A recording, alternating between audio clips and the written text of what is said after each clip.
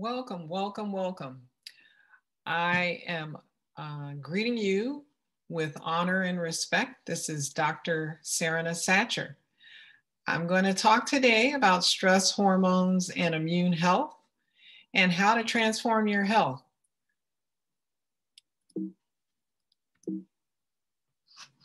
I promise you that I'm going to give you 30 minutes of good information that you have not heard before from your doctor or from any other doctor, most likely.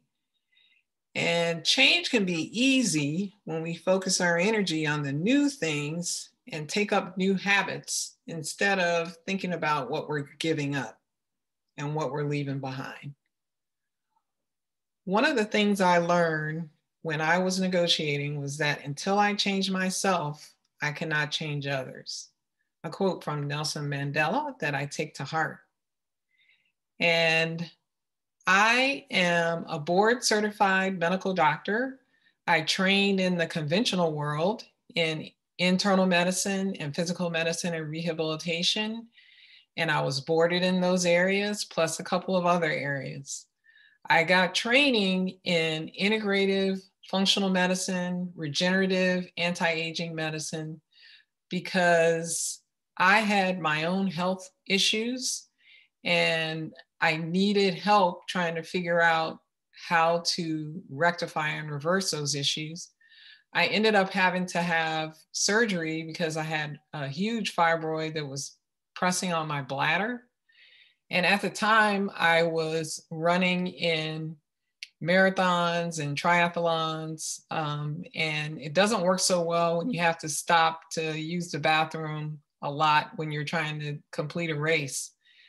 So it ended up after I had surgery that I had other fibroids. So I had to figure out how to shrink those down. So I did that over a number of years and I got a bunch of training and I got boarded in all these areas of holistic medicine.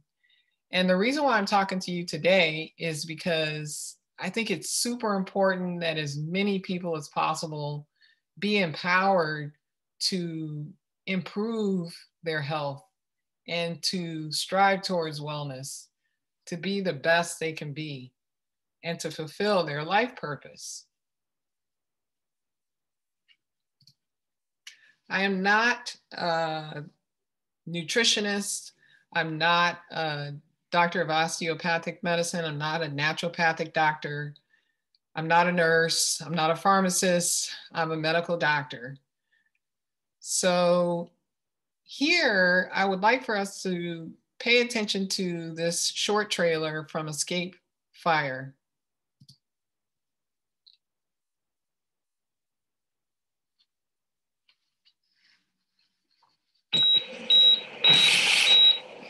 The American healthcare system is badly broken. The present system doesn't work and it's going to take us down. We need a whole new kind of medicine. We're in the grip of a very big industry and it doesn't want to stop making money. If I spend five minutes with you and then put in one of these stents, I'd probably get paid $1,500. For me to spend 45 minutes with a patient to try to figure out what their true problem is, probably get paid $15. It's a completely irrational system. We don't have a healthcare system in this country. We have a disease management system. We're spending almost twice as much in America as any other country on earth, but our lifespan isn't even in the top 20. 30,000 Medicare recipients die each year from care they didn't need. That's the equivalent of a jumbo jet crashing every single week. If the aviation industry killed as many people, we'd be up in arms. The administration pays you based on how many patients you see. All right, who's next? If you try and buck the system, someone says, What can we do to get your productivity up? I'm not interested in getting my productivity up. I'm interested in helping patients seeing the military just being a microcosm of the problems society's having. Soldiers' use of prescription drugs has tripled in the past five years. Yeah. Medications I was on. Only by accepting that the American healthcare system is badly broken will we be able to seek out the escape fires, the potential solutions. There are answers. One company has figured out how to lower healthcare costs by more than 40%. We provide incentives for people to engage in healthier behaviors. The Army Surgeon General directed that we establish the Pain Management Task Force to take a look at alternatives to narcotics. I was skeptical, so skeptical. I've gotten a lot of inspiration, a different perspective. There's a different way of doing things that is possible. If I think about what healthcare could be like, it would have a lot more care in it. The healthcare system is unsustainable. We're really mortgaging the future. Not just the health of healthcare, but the health of the nation.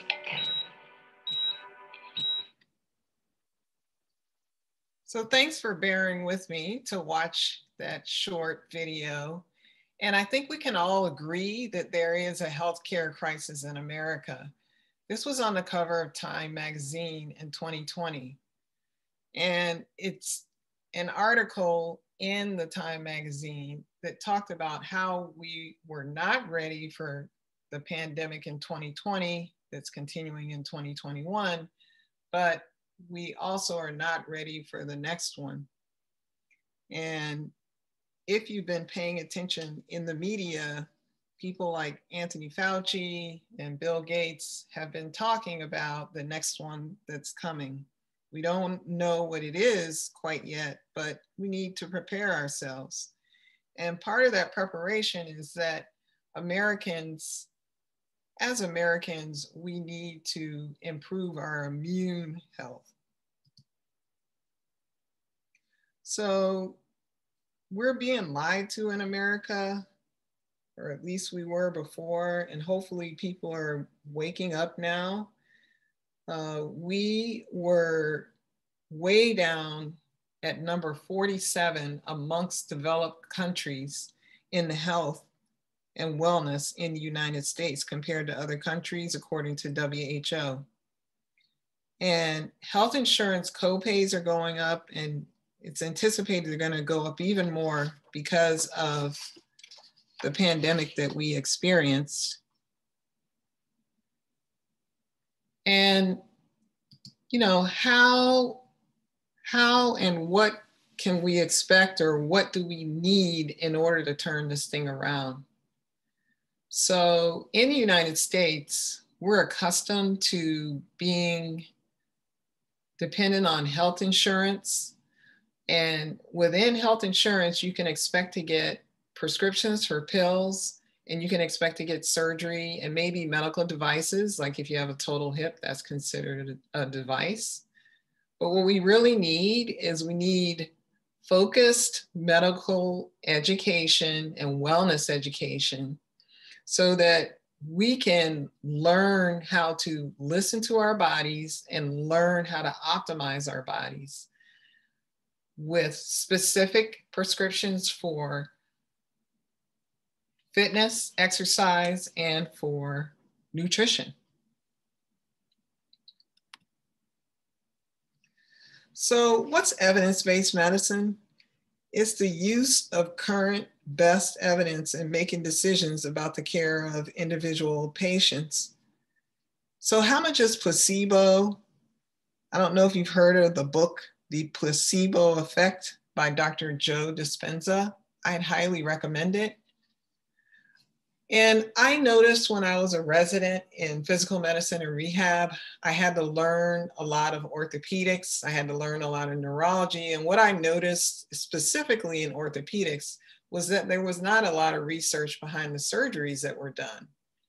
There was not a lot of evidence to back up what's being done. However, all areas of medicine purport that they're using evidence-based medicine when it's not exactly being used to the benefit of the United States citizens.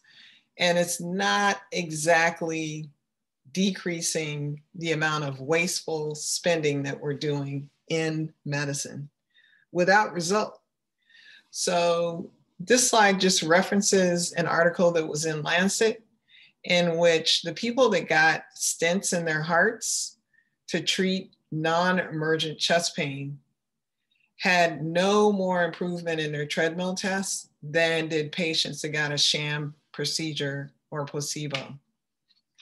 So, certain procedures like spinal injections, knee and shoulder scopes, um, joint replacements, these are all being questioned now about the efficacy and whether it's actually saving money and whether it's actually beneficial. So, can we find cures for 7,000 diseases? So, this was from an article published in 2015. And what they found was that there were only 500 treatment cures, and that most of the diseases were of microbial origin. In other words, most of the diseases were from viruses, bacteria, fungi, etc. Each patient carries his own doctor inside of him. And this is a quote by Norman Cousins. He's a famous doctor uh, for reversing diabetes. Um, I highly recommend his books. And everyone has a purpose. Do you know what yours is? And do you feel well enough to even figure that out? we really need to focus on educating ourselves and listening to our bodies. So there's a lot of wrong and lacking information out there. We get misled by what we read, what we see on TV and in the media, even from what we're learning from conventional medicine obviously you can't do crunches and expect to spot train and lose belly fat. We know from studies that running is not good for most of us after the age of 40, but that doesn't stop us from doing it. Certain things make sense. Like you're gonna have to eat right, you're gonna have to detoxify, exercise, or do some type of movement, get good sleep, and reduce stress everyone knows we've got to exercise right. And I have some pillars of my educational program that I'm just going to run through as we're going through some of these slides, and you'll notice a triangle on the slide. So I've talked about fitness here and how the information may not be correct that you're getting out there the exercise that you're doing may not be the best for your condition. So we also are not proactive as Americans. This picture doesn't really make sense. Why is it that most of us wait for something catastrophic to happen before we take action rather than act to prevent disease? And then when we get diagnosed, why is it that we wait for the doctor to say that our condition is at the end point, the stage four, it's at the worst. You're going to have to start the IV or sub Q or injected medication. Why do we wait for that?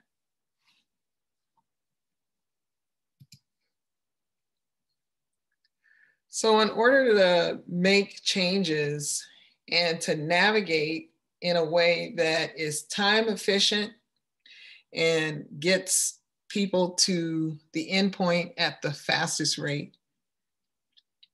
Mentors are important. In my lifetime, I picked the right family to come into. My parents were my mentors. They were first generation college graduates. My dad has a PhD in radiation chemistry from Oregon State University. And he's one of the first in the United States, the first African American to get a radiation chemistry degree. And his thesis was on looking at the changes in the DNA molecule that occurred when exposed to radiation. Um, he was at Oregon State University when Linus Pauling who's very famous in integrative and functional medicine, for discovering that vitamin C actually helps to reverse and protect our DNA from damage from things like radiation and other toxins. So my parents were a good example. And there are other inspiring examples in my family, but I'm not going to go into all of them today in science and medicine. So I have a niece and a nephew who are my part of my why. I also have friends and uh, colleagues that I care about um, who are also part of my why. Who's your why? Also, who depends on you?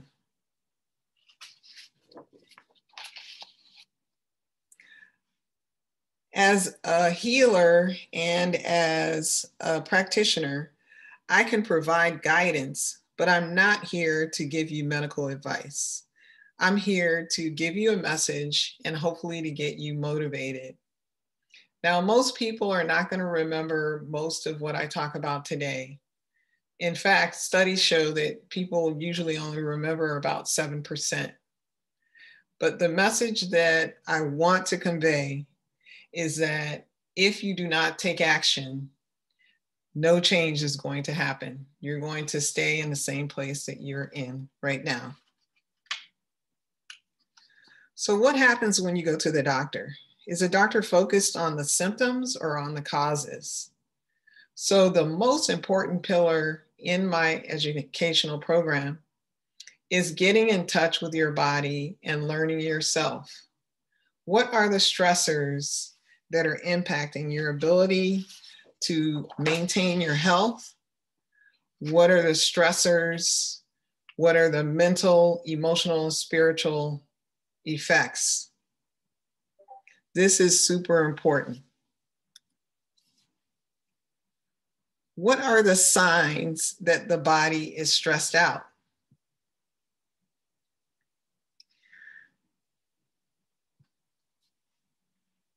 Many people do not recognize the signs that the body is stressed out or burned out. Uh, many doctors don't recognize these signs either. So you can have sore muscles. You may be thirsty or urinating a lot. You may have hair falling out. Teeth or gums are unhealthy, bleeding, foggy brain. You could have emotional or physical exhaustion, constant worrying, forgetfulness, lack of motivation. You may be gaining weight and you may be having trouble losing the weight.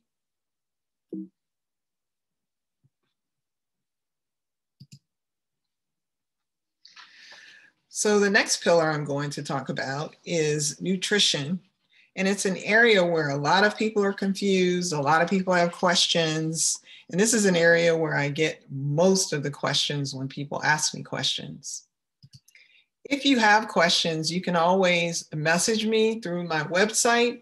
You can always go to Instagram and ask questions.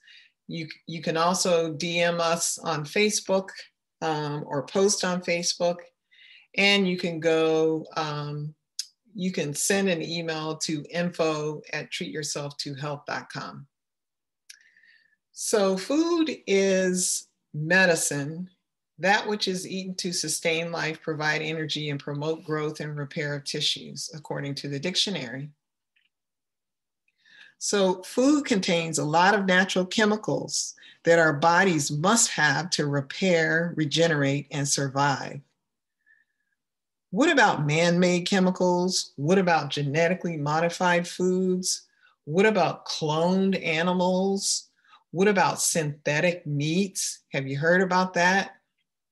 And what about organics? What about pesticides? These are all questions that we will address in our program. And if you notice that 70% of US adults are overweight or obese, and the USDA refuses to change the food pyramid. And this food pyramid encourages us to consume unreasonable amounts of processed food, which you can see at the bottom of the pyramid is six to 11 servings of the bread and pasta group. This is why we have so many problems. This is an example of a modified Mediterranean type of diet, which is our preferred recommendation for how we should be eating. As you can see, the processed foods are at the top because we're really not recommending too many processed foods or any at all. Detoxification is another area of my educational program where many people have questions and many people kind of want that magic pill or they want a do it yourself solution. And there's not really a one size fits all in terms of detoxification. There are three types of negative stress physical, chemical, and emotional. So when we're talking about stress, I think most people focus on emotional and they don't realize that the body sees many other things as stress. And it consume these things consume a lot of energy, such as toxins, which are under the chemical category, which would include alcohol and the physical, which you would think of as just like breaking bones or pulling muscles. This also requires a lot of energy for the body to repair it. So, what do you do about that? You know, how do we get the toxins to leave? How do we enable our bodies to heal faster? So, when speaking about chemical toxins, we think about medications. Now, I know most of you probably don't think that way. Most Americans, on average, are on at least three medications, some prescribed and some over the counter. But when you ask a person whether they're taking medications, they say, no, I'm not taking any medications because they're not counting Tylenol, they're not counting things that they're buying over the counter for allergies, they're not counting any of that. So we're counting that because that puts stress on the organs that detoxify, like the liver, the kidneys, and the skin. So, can any of you de- guess what side effects this profile is coming from from what medication? This is the number two prescribed medication in the country. And it comes from a group of medications that some have had a bad rap in the past. But I think that many Americans continue to take these medications, not realizing that the bad rap actually applies to the whole category. So Zocor, Lipitor, or Simvastatin, most all of the statins have these side effects. And does anyone know what the number one medication prescribed last year was? It was Vicodin, which is an opiate. And when I saw that, I was shocked uh, because opiates are addicting and they have effects on almost every organ system in our body. With the statins, you saw the listed side effects but the ones that are worrisome are also that it they can cause diabetes, fatty liver, and those may be reversible or not. We're not sure because there's not enough there's not enough research. With the opiates, we know the effects are very bad on society and on families. So next we're going to talk about hormones. We have 600 hormones in our bodies and I call it a symphony because the body has to coordinate the rise and fall of all these different hormones over the course of a day and for women over the course of a month. Men have some cyclical changes also, but women's hormonal issues tend to be more complicated and they're more complicated to resolve and it can be harder for women to lose weight.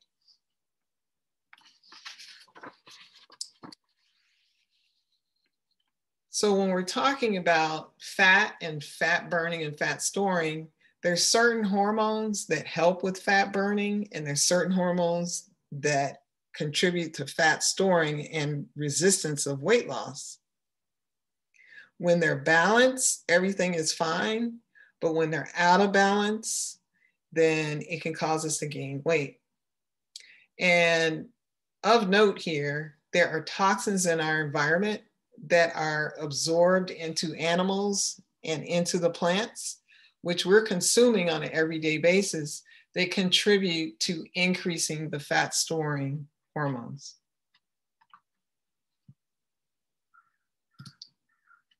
Do any of these body types look familiar? I know you can probably see where you may have some similarities to some of these, or you may not have any at all. But I think there's a misperception of the liver body type, especially in men. I think the misperception is that it's probably a beer belly, they're drinking too much alcohol. That may be true in some cases, but in the majority of cases, this side effect is a result of medications. Like we talked about before, the statins can contribute to causing problems with the liver. The liver can start making fluid into the belly, and that can occur. When it gets too far advanced, it can be impossible to re uh, reverse. So here, let's talk a little bit about lab tests normal lab tests according to conventional medicine and functional lab ranges according to holistic, integrative, and functional medicine, precision medicine, etc. So here we're looking at the thyroid stimulating hormone just to provide an example. Now, 40 years ago, the functional lab range that you're seeing here from 0.5 to 2.0, or even two and a half to three, was in the normal range, you know, back in the 1940s and 1950s. The food was a lot different then. And when you took a thousand people off the street, that was the range that you got when people said they felt healthy and normal. The range that we're getting now is going beyond that range. So when a LabCorp or a Quest provides the normal range, one of those labs, I think their range goes up to 4.7, the other lab goes up to 5.7. But the problem is we take a thousand people off the street today and average out their levels and they say they're healthy, but their numbers show that they're not in the best health. They're not in what we call the functional lab range. So when you're talking about a conventional doctor and when you're talking about a holistic type of doctor like me, you're comparing apples and oranges. So I don't want you to be upset that they're not telling you the truth because their intentions are good and they're trying to help you on the most part. And it's not that they don't necessarily want to learn, it's just that when they went to medical school, they were not taught this. They were not taught nutrition. They were not taught lifestyle medicine. So it's a little bit unreasonable to expect for them to all have knowledge of this. They would have to go and spend their own money to get training to learn what I am demonstrating here. So I just want that to be clear. But what we're looking for in the type of medicine that I am accustomed to looking at is we're looking at functional lab ranges. We're looking at optimizing where people are. So we also like to test and not guess. So there are other holistic practitioners that use other measures. However, in my practice, I do use labs whenever possible. So testosterone is another example of a functional range. However, the demonstration is a little bit different because if a man is down around 250, he's probably having a lot of symptoms. If he's like up above 400, 650 and higher, he's feeling really well, he's feeling energized, and he's sleeping well. So in that example, we want to show that it's better when they have higher levels. However, we also need to look at other hormones in men to make sure that they are not shifting testosterone into other pathways that may be detrimental. With the cortisol, when I said that we have a test for stress, cortisol is the test for stress, but we look at it a little differently than conventional medicine. There's a night and day rhythm, or what we call a circadian rhythm. And we want to see four points on the test, which is demonstrated with the blue dots. And the four points need to uh, be higher in the morning and go down and become lowest at 10 p.m. at night and stay low during the night so that people can stay asleep because cortisol is stimulating and it'll wake us up. And then it starts going up around 4 or 5 a.m. And that's what wakes us up at 6 a.m. So when people are working night shifts, uh, when people are looking at blue light at night, uh, like looking at their screens, uh, these are things that can affect the cortisol secretion and it can throw things off. And this is very common. I see it very often. When we have stress, that's also something that uh, gets this cortisol out of sync. And this is a pattern of cortisol burnout that I pulled from ZRT labs. It's an actual patient's numbers. And you can see the black dots are underneath the curve. So this person doesn't quite have a flat line, uh, but they're lower than what we like to see.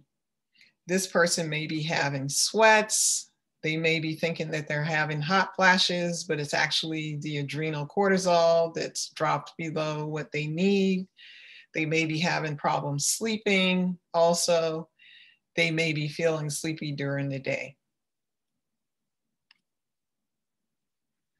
So the next area I would like to discuss is sleep. And sleep is an area where we tend to cheat and cut not knowing that we are cheating and cutting our lifespan, longevity, brain, and mental capacity. Sleep is very, very important to our health. The autonomic nervous system, which is part of the nervous system that is the automatic part, like when you sleep, you don't have to think about your heart rate going, your, your nervous system keeps that going when you sleep, you're also digesting food, and that is kept going by your nervous system. You don't have to think about it. That's why we call it automatic. So, one side is the parasympathetic side, which I've mentioned, which is the sleep, the rest, and digest. If you think about an animal in hibernation, that's kind of what's happening to us when we're sleeping at night. Our brain is flushing out, the lymphatics are moving, um, we're dreaming, um, we're getting a lot of benefits from the sleep. And ideally, we need to get a minimum of six and up to nine hours of sleep. So we also have the sympathetic side of the nervous system, which is the fight or flight. And you've probably heard about this. Like if a bear comes, then that's what's enable, enabling us to run at a split second. Like we don't have to think about it. Our heart just starts beating faster. Our liver starts making blood sugar to help us to run, to have the fuel. So when there are problems with this part of the nervous system, it can be difficult to re, uh, recognize. And again, I don't want to fault our doctors because the conventional doctors may not have learned much about this part of the nervous system as much as we know now. And I have actually learned a lot about this part of the nervous system because I went and got a certification at the Mayo Clinic, um, in part because I did some testing working part time for the VA.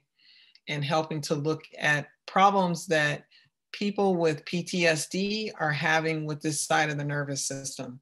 So, this side of the nervous system can be gravely affected by lack of sleep, by improper nutrition, by lack of rest, and by a lot of stress. This is also an area that even neurological, like neurosurgeons and neurologists, they're familiar with this side of the nervous system. However, many of them are not familiar with the symptoms and with um, some of the effects on other systems within the body. So, like I said, sleep is a cornerstone of the autonomic nervous system, and it's really the cornerstone of us staying healthy and keeping our immune systems healthy as well.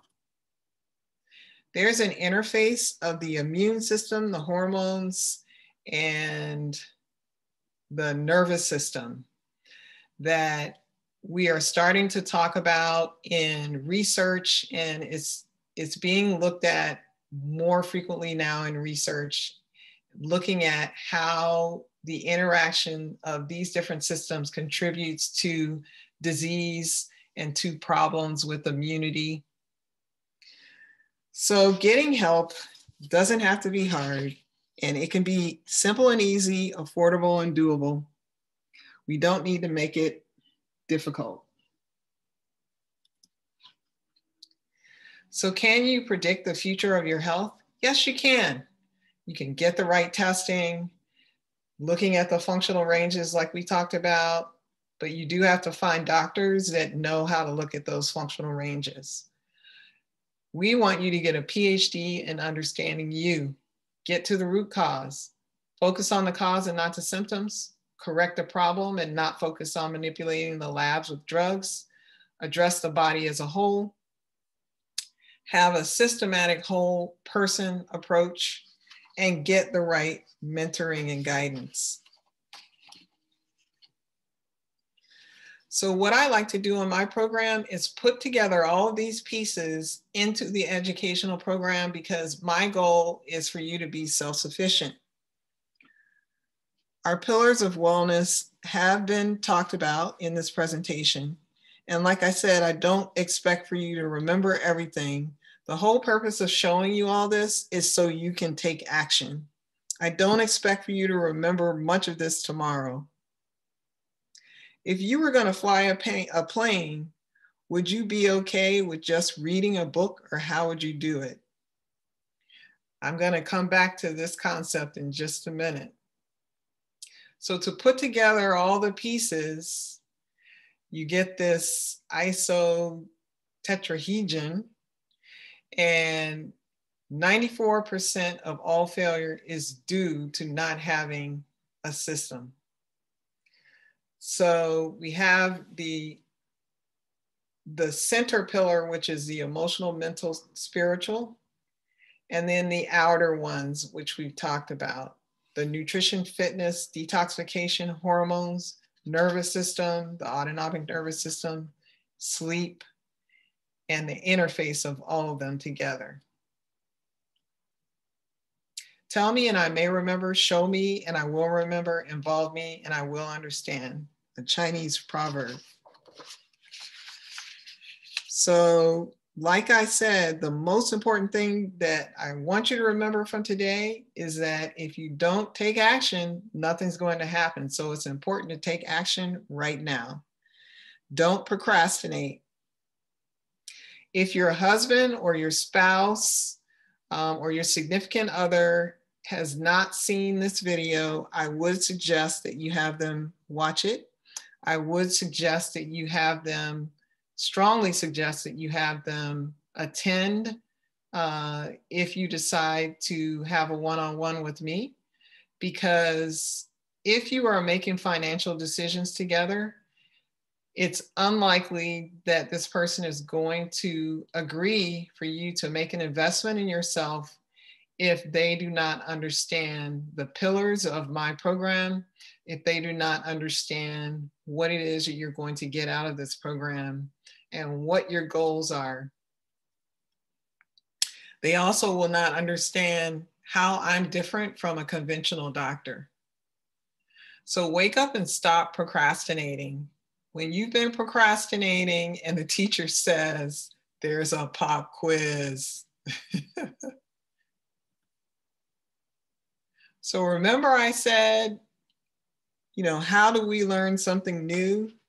And what happens if you've read a book about flying, but you've never actually flown a plane? Are you going to be able to fly the plane if you've read a manual? I don't think so. So let's just think about that. And what's the most efficient way for you to learn how to fly the plane?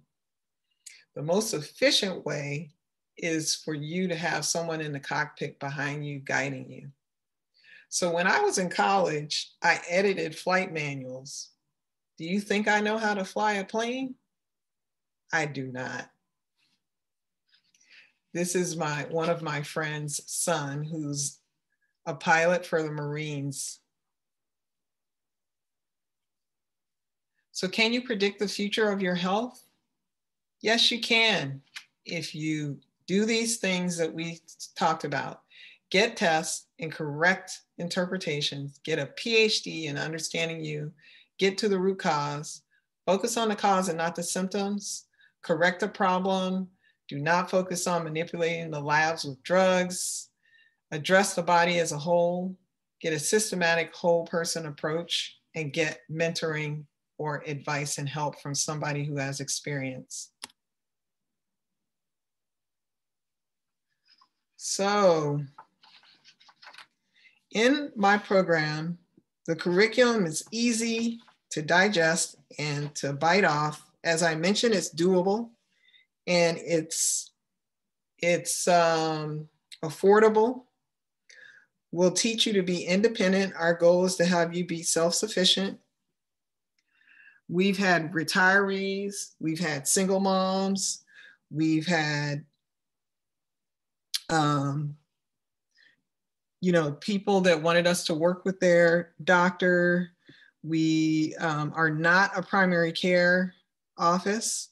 So you will be required to retain your primary care doctor. And I do strongly encourage and require that you bring your significant other if you have a significant other for the reasons that we talked about. Your success depends on your willingness to change and be motivated. And your family needs to know what you're going to be doing because they're going to be part of what's motivating you and cheering you on. I have helped many people to learn how to take care of themselves and to heal themselves. Um, many people want to know if insurance covers this.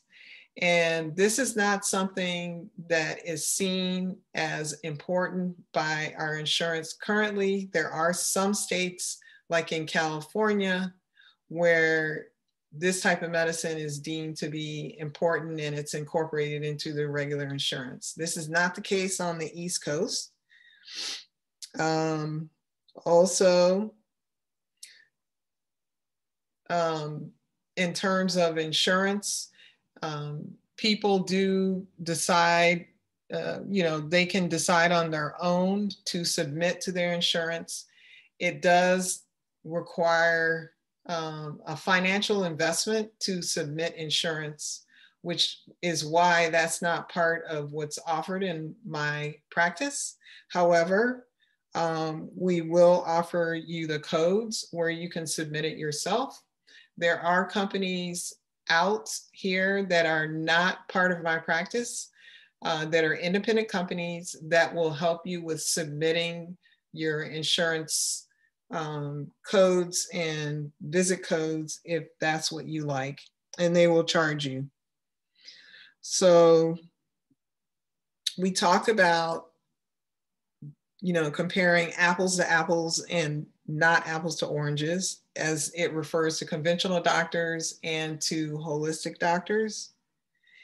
And we've come to the end, and you have a choice to make.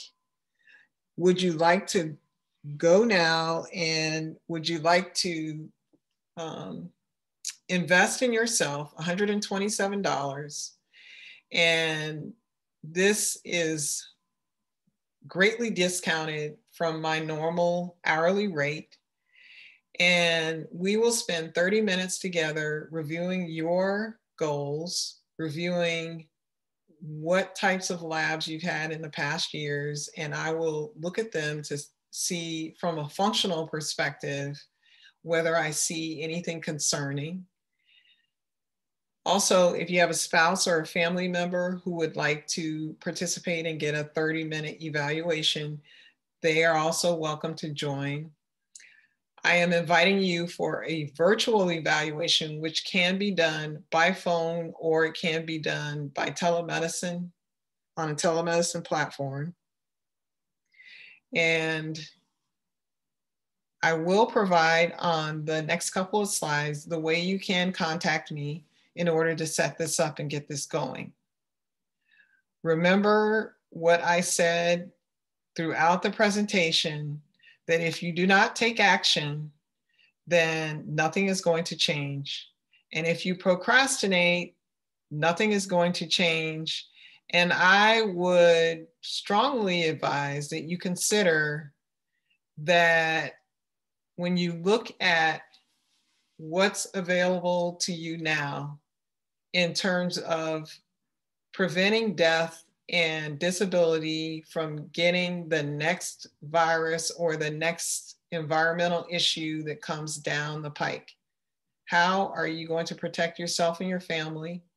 How are you going to learn how to take care of your body and to listen to your body? Yes, of course, you can do this on your own, but it may not be the most efficient. And we really don't have so much time to mess around and to fool around trying to figure that out these days. In addition to joining my program with one-on-one visits and with packages that include labs and that include other items.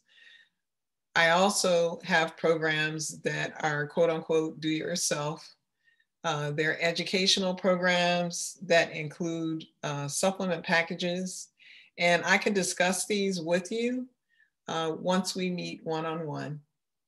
So the, I'll just bring up that the mini OATs testing through um, a vendor that I work with called Regenerate is very useful um, especially right now when a lot of people are having lingering effects from uh, the viral infections, not only from COVID 19, but people have lingering effects from Lyme disease, they have lingering effects from Lyme co infections, from pandas. There's like a number of issues.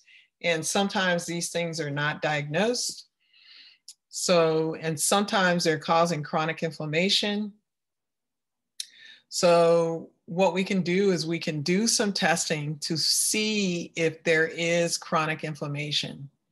And this testing can tell us what antioxidants, what vitamins may be in deficiency, what foods may be helpful in decreasing some of that internal fire, some of that inflammation. So ask me about this when we meet, and I'll give you more details. So act now, contact us today. Spaces are filling fast. My phone number is 703 454 9326, extension zero. And you can reach us at the email info at treat yourself to health. But I think the most efficient way where you can go and um, you can schedule yourself and you can pay the deposit. The prepaid deposit, which was mentioned on the previous slide, is $127 for a 30 minute visit. And And you can do all that yourself by hitting the orientation button on Treat Yourself to Health, and it will take you to the site where you can schedule your visit. Um, you will also be provided the link for prepayment below this video. So once you finish watching this video, go below the video, click on the name of the video, which will be orientation and stress and hormones, and click there and you will see in the drop down a link for Stripe to pay the prepayment. Thank you so much. I appreciate your time today. And it's been wonderful spending time with you. And I look forward to meeting you online, virtually, or on the phone. Thank you so much.